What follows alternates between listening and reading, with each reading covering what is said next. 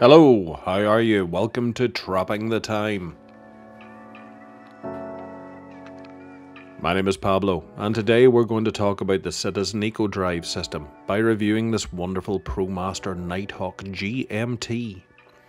In addition, we're launching a new section in our videos that we're going to call Watches of the World, where today we will review the Fight One Hand, a Belarusian watch with a manual winding and a single hand full of charm and also very economical.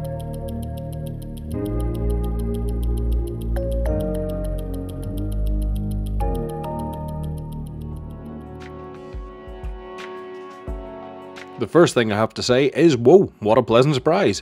This precious watch has arrived totally unexpectedly as a Christmas gift. A little early, I must say, since it arrived a week before Santa Claus, and also with all the intention. I'll explain. My children, who are the ones who record these videos, I only put the watches on, uh, the voice and my wrist, they do everything else. They knew that I had it in my head to make the fourth video with a citizen, to close the first videos of the channel with the four great Japanese. But of course, what I like uh, the most about the Citizen is their range of aviators, all quartz watches, be they EcoDrive, radio controlled, GPS, well, a lot of modern technologies that make me look at them with admiration but without empathy. So it was they, my children, who have solved the equation. Taking advantage of the imminent Christmas, they have advanced their gift and bought me this watch that I would surely never have bought because of that prejudice, perhaps absurd, towards quartz watches. And the truth is that I have to admit that it has totally changed my way of thinking. First, of all for the beauty of the piece, uh, a tool watch for aviators or for anyone who needs to convert miles, gallons, or pounds to the metric system, with a really attractive sphere that is a successful combination between the steel of the case, the ceramic of the bezel, and the leather of the strap. Overall, it seems to me a very masculine and sporty watch, great as a casual watch. The second is for the functionality of this EcoDrive system, since this watch does not use a common battery but is powered by light, and the theory says that you can have it for weeks, months, even years in your box, and when you take hold of it, it's ready to go and right on time. Much more accurate than many mechanicals costing 10, 20 or 30 times as much. It must be recognised that on a practical level, it's unrivaled, and on top of that, it's very eco friendly because by not using batteries, it does not generate heavy metal waste. The third thing that brings together everything said above is because this watch has opened my eyes and made me rethink many questions. For example, like the one that uh, gives this video its title does anyone give more? I have to say that although it's hard for me to admit it because of my great love for mechanical watches, if what we value is functionality and value for money, it's very possible that the EcoDrive range from Citizen is one of the best deals on the market today. This Nighthawk is not only beautiful, but it's also very well made, with very good quality materials and with careful design in all its details. In addition to that, it only needs 2 minutes of exposure to sunlight to get a charge for a day's use. If we expose it to 11 hours, it gets a full charge to work for at least 6 months. The truth is that this is one of the things that was not advisable for these watches uh, to have them for long periods of time in the dark. In fact, something that I would pay close attention to when buying an Eco Drive is that it's uh, never a late model, since it's more than possible that it has spent years in storage without receiving uh, direct light exposure that it needs. In this case, it's far easier for that battery to reach us discharged or with charging problems, which will never happen in a recently manufactured Eco Drive. But it's not just powered by sunlight, also with artificial light. If it does not have the necessary energy, we will know because the second hand marks the seconds 2 by 2 which returns to normal when we recharge it. The only maintenance that this part requires is exposing it to light over and over the years changing the, the battery element which works in a similar method to a car. Although we keep it at full capacity over time it loses capacity burden. But hey, we're talking about many, many years. In fact, this is somewhat confusing because some citizen advertising speaks of these watches as eternal. At the moment, what we do know is that there are users who have had Eco Drive for more than 20 years and have not had to do anything with them. They continue to work like the first day, and that says a lot very well about these citizen Eco Drives. Like this ProMaster Nighthawk GMT that I like so much, there will be those who think that a black strap would look better, and I won't take away their reason, but for my taste, that colour combination makes it elegant and sporty. I'm actually really glad that Citizen ditched the bracelet for this latest version of the Nighthawk, and that they released it in the middle of 2020. In addition, a strap of this colour with texture and finishes.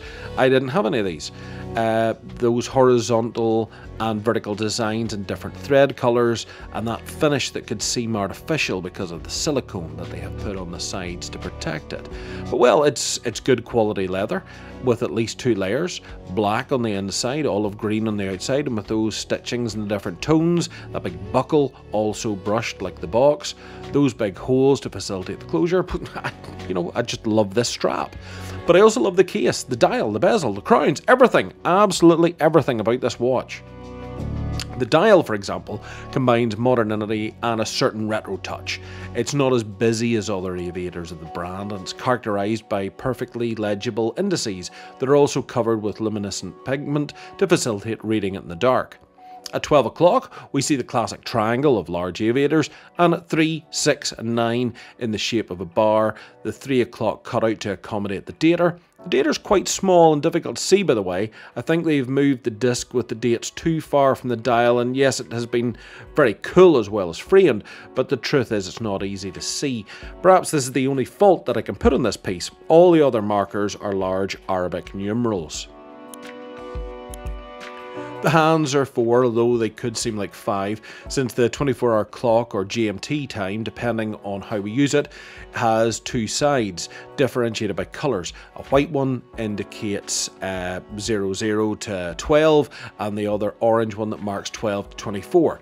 They're very slim, shaped like an airplane on each side, which I think gives it a very cool and casual touch to the dial. The hours and minutes are in the same form of a sword. The minute one is longer, and they also partially covered that with luminescent paint. The one for the seconds is very fine and pointed, white to the centre and black on the counterweight. On the left side of the dial we see the hemispheres of the 24 hour clock in the same colours as the hands white for before the meridian, and orange for post meridian. In reality, they are slightly larger than hemispheres, but I think that asymmetry is well thought out and makes it look much more attractive.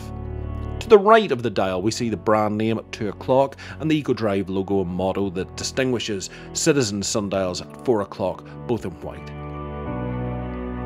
Another part for the watch that stands out is the Rehaut, where we see those two rings full of numbers and initials. The bottom one, the one that touches the dial, is for the conversion of miles to kilometres, and the top one that touches the bezel has the same numerical scale and is for converting gallons to litres or pounds to kilograms. To facilitate these calculations, the upper ring rotates through the crown that we have two, at 2 o'clock. It's bidirectional, very easy to operate. As a whole, the dial seems outstanding to me. On one hand, it's sober because the black and white around it, although here I have to say that the dial is not black as it seems, but a very dark graphite grey.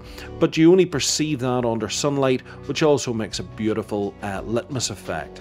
The white markers and numbers are especially that orange colour in different parts of the dial as well as the strap, give it that cheerful and casual touch that in my opinion looks really good on it. To frame the whole, shiny black ceramic bezel with a slanted pattern on the side, just like the one on the crowns, although in this case it's merely aesthetic because the bezel does not rotate. What rotates is the inner ring as I mentioned before. The crowns are not threaded, as would be mandatory in a self-respecting diver, but I think that with this, Citizen wants to make it clear this isn't a diver, it's an aviator. Other parts of the watch that stand out is the faceted case that frames the perfect circumference of the bezel so well. It is brushed for the most part, except for the top of the lugs and the crown protectors where it's polished. If we see the watch from its sides on the left side, we appreciate its balanced harmony, and also that contrast between the brushing of the case and the shine of the ceramic.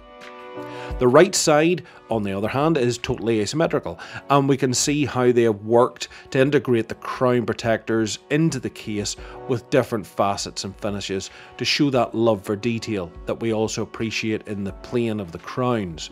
The one of the two is polished, and the one of the three is satin, highlighting the brilliant ProMaster logo. On the back of the watch we can see the screw cap finished in radial brushings that also achieves an iridescent reflection. In the centre there is a laser engraved globe with the brand name and the EcoDrive motto. On the outermost part of the cover we can see different references and nomenclatures typical of this watch. And what else can I say about this piece? Well, it has me completely surrendered to its beauty, its quality, another Japanese piece, giving you more than you would expect. Now, let's see the measurements and specifications of this Nighthawk. The model reference is BJ7138-04E. It's equipped with an EcoDrive movement, caliber B877, which according to Citizen is accurate to about 15 seconds per month. The diameter of the case is 42mm, the thickness 12.8mm, the lug to lug is 46.8mm, and the lug distance is 22mm. It is a mineral glass crystal, the bezel is ceramic, and the case is stainless steel, the strap leather.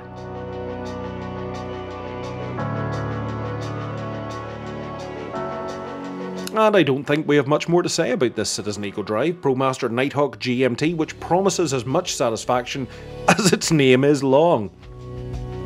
At the moment, what they have already achieved, the watch and my children's parts for giving me a quartz of this quality, is to break all the schemes totally of them. By the way, to finish, I have to say that this piece is not easy to find in Europe. Apparently at the moment it has only been launched in Asia and America, and in fact does not appear on the official website of the brand in Spain. It's not known if this is because of the difficulties they've had due to the pandemic, or if it's not finally going to be released here. Either way, you can find it online for around $330. It's uh, much easier to find in dollars. So, with nothing more, so far, the review of this wonderful piece of the EcoDrive ProMaster Nighthawk. And now we'll continue with world clocks. 1216. Is there life in watchmaking beyond Japan, Switzerland, and Germany? The answer is yes, of course there is. And in that case, this firm, Luch, which means scratch in Spanish, this brand comes from Belarus, makes very nice watches, and at least it seems that way to me. The history of this Minsk watch factory began in 1953 in the heyday of the USSR, and at that time it was the main supplier of civilian watches to the Soviet Union.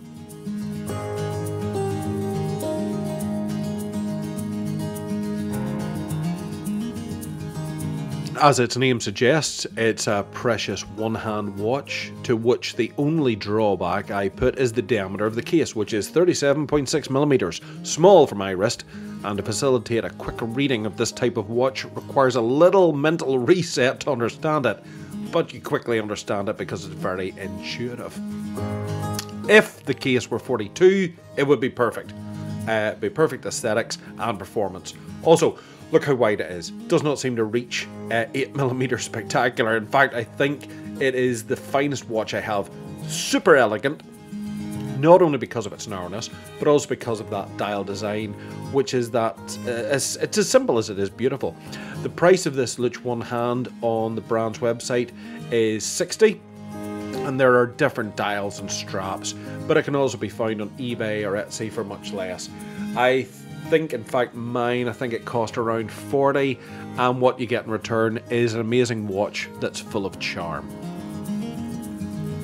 The box only has a steel lid with a very attractive decoration with those drawings that I imagine are constellations and that shiny polished finish. The truth is that it's, it's very pretty.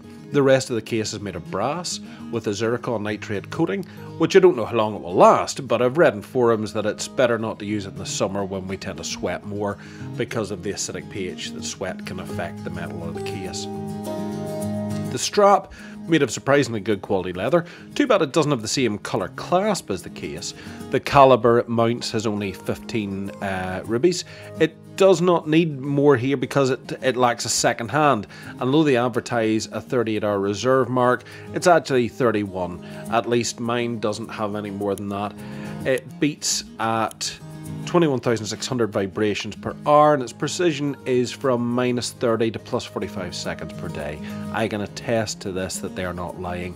Mine gains about 30 seconds a day. It's a manual lift, as I've already said, and that gives it a special charm. And it also sounds like the old clocks that you'd hear your grandfather from meters away when he was winding it, because this one too sounds loud and very pleasant.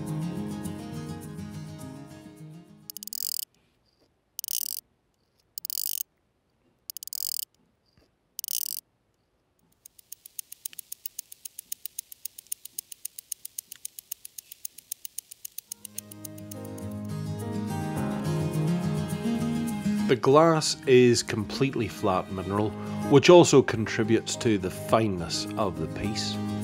According to the brand, this precious Luch uh, suggests an idea to its owner dominate time, but do not submit to it. And the truth is that I couldn't agree more with that slogan. Manual watches and more, these with a single hand, make you feel time in another way, as if you dominate it in some way that I can't quite explain.